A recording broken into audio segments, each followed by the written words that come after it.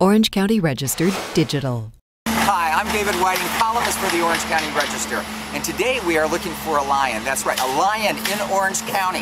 Now, this is not a running around lion, this is a beloved lion from Lion Country Safari back in the day. So beloved, in fact, that when Frasier died, Frasier was buried up on the hills in these parts.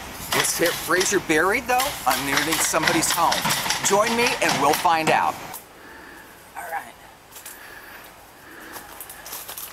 Okay, we haven't found Frasier yet, but we're gonna find that mighty king of the jungle.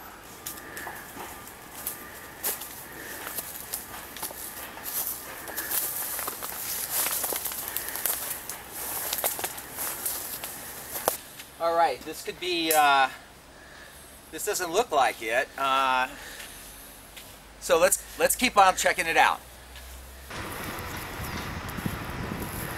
Okay, I think we've spotted the tree, the tree where Frasier was buried, right around this spot. In fact, back in the day, kids used to walk up here, kind of a pilgrimage of sorts. Frasier's tree.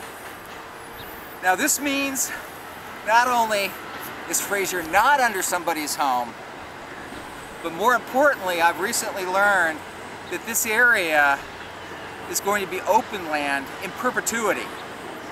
So Frasier has a permanent home. I'm David Whiting with the Orange County Register. Thank you for joining me. Orange County Register. We are here in the service of Orange County.